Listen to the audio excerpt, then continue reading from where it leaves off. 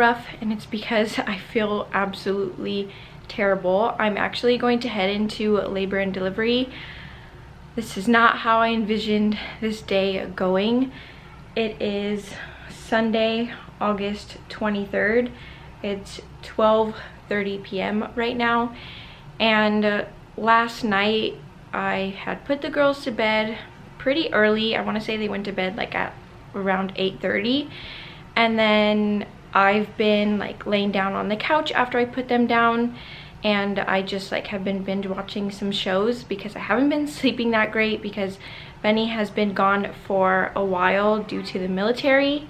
So it's just been me and the girls so I haven't been sleeping that great. So I've been um, like relaxing on the couch after I put the girls down and then once I'm tired I head to bed so I guess last night I ended up dozing off on the couch because I woke up on the couch at like, I want to say it was about 11.30 to midnight and I woke up to really bad stomach pain.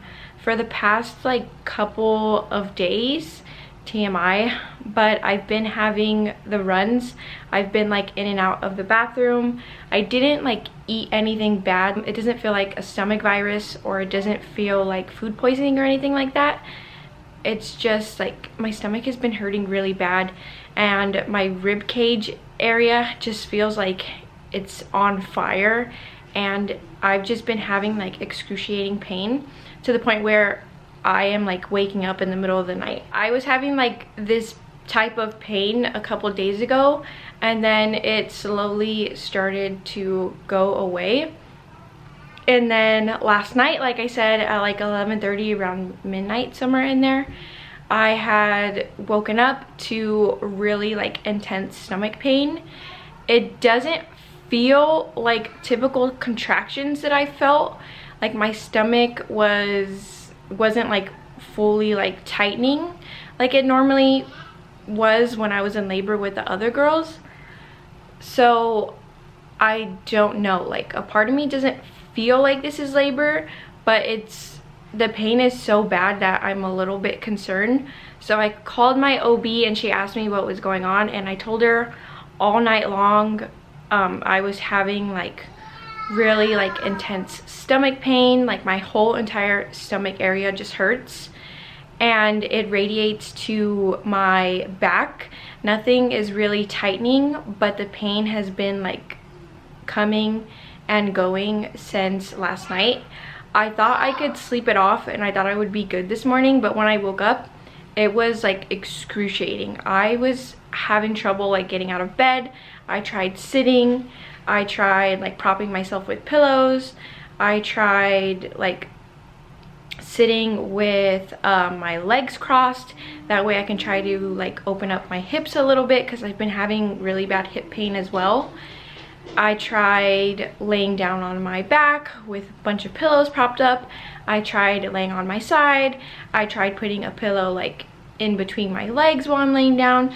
I just tried everything and nothing was helping. Like I was literally in tears when I called Benny this morning because the pain was that bad.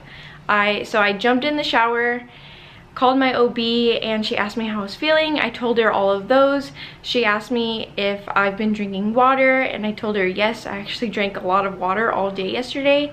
So she told me to definitely come into labor and delivery since I'm 30 weeks and just to be on the safe side just to get checked out. That's what you guys saw me doing. I threw like a bunch of things in my hospital bag because i did not have that packed at all. I actually was planning on packing that within the next like week. So i kind of just threw everything together this morning. I jumped in the shower to see if that helped.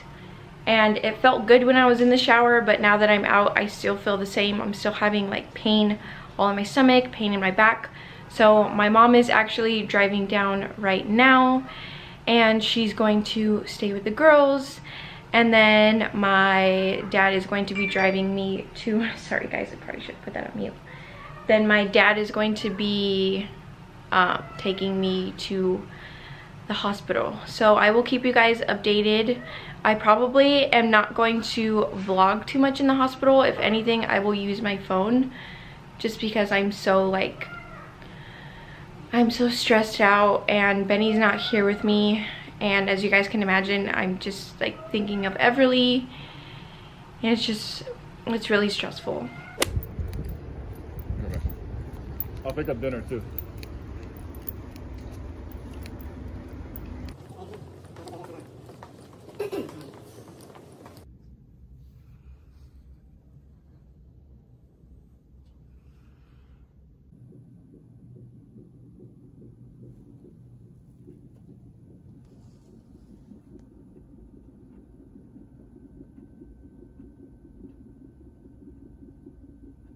Alright guys, so it is actually the next day. As you can see, I've been discharged from the hospital. Hopefully the fan in the back isn't too loud and you guys can hear me. But basically, those were contractions that I was feeling, the pain that I was feeling in my stomach and in my back were contractions. I was actually having them every few minutes. They weren't um, they weren't extremely strong or anything like that to the point where I needed like pain medication. They were still bearable, but yes, the pain I was feeling was contractions every few minutes, which is so crazy because they didn't feel like typical contractions that I had with my other girls like I said but yes I was having them so they checked me they immediately had me start to drink water and uh, they gave me an IV so I can get fluids just to make sure I wasn't dehydrated. I don't feel like that was the issue because like I said I've been drinking water non-stop. Water is basically like the only thing I drink besides my cup of coffee in the morning. But they decided to give me fluids anyways to see if that helps.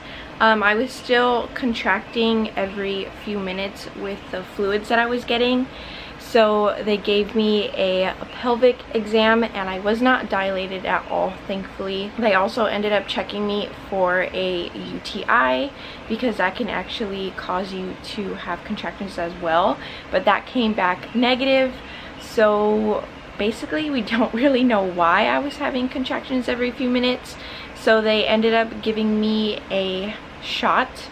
I forgot what the shot was called. It starts with a T, I know that. But they gave me a shot that hurts, by the way. That was a really painful shot. I had to get it in my arm right here. And thankfully, a little bit after getting the shot, my contractions were able to stop. So they got that under control. I wasn't in active labor or anything because like I said, I wasn't progressing. I wasn't dilating. My contractions were not getting stronger. They weren't getting like any close together. But i have been ordered to rest. I believe i updated you guys on here about my glucose results and my results did come back really low as well but my ob wasn't too concerned about it. But they came back extremely low this time around too when i was in the hospital. So i've been ordered some type of like powder medication that i have to put in some orange juice and then I have to drink that once a day. It was kind of a crazy day yesterday. As you guys can imagine, I was extremely emotional because I haven't been in a hospital like that since Everly. So I was having like a lot of like flashbacks from that and then I didn't have Benny by my side so as you guys can imagine he was freaking out as well he was like texting me the entire time for an update I also had an ultrasound, but they didn't really let me see baby girl, which is a huge bummer.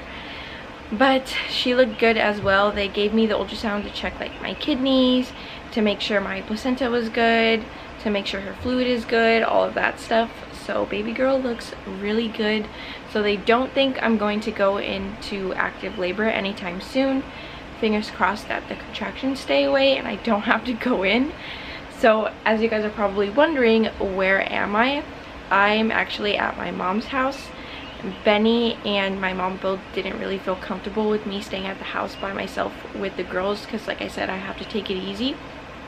So I packed up um, our stuff really quickly and I'm staying with my mom for the week because Benny is still gone for one more week.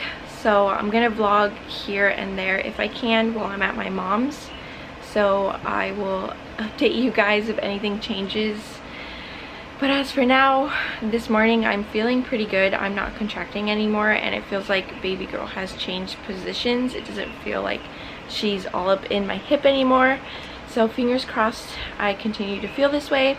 Today is actually Layla's first day of school as well, of first grade, which is so crazy.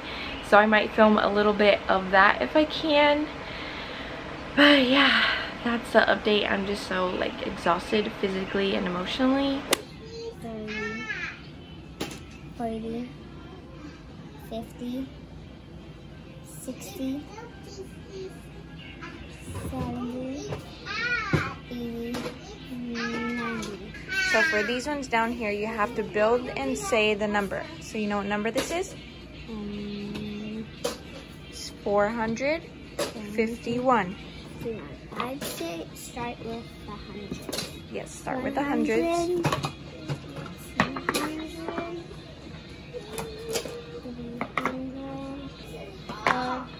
Good. And you have to make 451. So which blocks would you use next? I would use the tens. Good. Good morning, you guys. I'm sipping on my coffee and I'm about to do my makeup. I'm still at my mom's house, but I'm going to be filming a little bit today because I have my OB appointment. I'm 30 weeks, 5 days as of today. Today's August 26th. And I'm hoping for good news at my OB appointment since my hospital stay. I've still been having like stomach tightening. I haven't really been in any pain like I was that day, but my stomach has still been tightening a lot. So I'm not sure if it's just um, Braxton Hicks, but I've been having them pretty frequent. Definitely gonna mention it, talk to her about it, see what happens. I'm praying for good news today but I'm gonna take you guys along and see how it goes. So I will see you guys in a little bit because I'm gonna go ahead and do my makeup.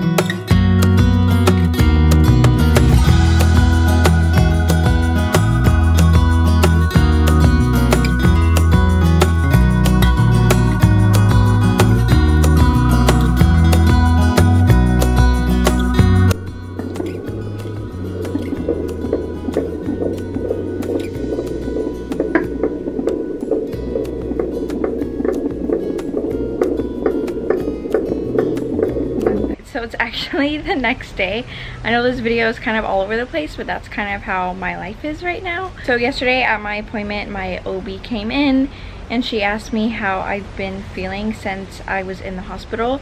And I told her I'm not in any pain anymore, but my stomach is still tightening a lot. And I explained to her that I've been drinking water. I've been trying to stay off my feet as best as I can. I'm at my mom's house, so I have a lot of help. So I have been able to rest, but my stomach is just still getting like really, really tight. So I'm hoping they're just Braxton Hicks, but since I did, hopefully you guys can hear me because it's windy, since I did have to go to the hospital and I was actually having contractions, she's still a little bit concerned. So she basically put me on bed rest. I can't stay on my feet too long. Um, no physical activities, if you guys know what I mean. So basically I just have to rest. She wants me to keep drinking as much water as I can. And then since I told her I was having tightening still, she ended up giving me an exam. So she checked my cervix. She said my cervix is closed. I'm not dilated at all, which is such a relief to hear because I'm only 31 weeks as I'm filming this now. I'm 31 weeks today. So that's really good. I did not want to be dilated at all yet. It's still a little bit early for that. So she said my cervix looks good. And then she wanted to double check so she actually fit me in for a transvaginal ultrasound and she checked my cervix through there as well and that looked good. Basically I just have to be on bed rest which kind of stinks because I have two kids I homeschool and Rory is a toddler so I'm constantly chasing her and I have to go back to my house because I can't stay at my mom's forever. Benny actually comes back in a couple days so I'm not gonna have as much help anymore because Benny does still work. But I'm gonna have to just try to take it easy as best as I can. But that is the update. I will film a little bum shot for you guys at the end of this video. But don't forget to give this one a thumbs up. Make sure you guys are subscribed to the Moran family. And make sure you hit that bell. That way you guys always get notified every single time we upload. And I'll see you guys in my next one. Bye guys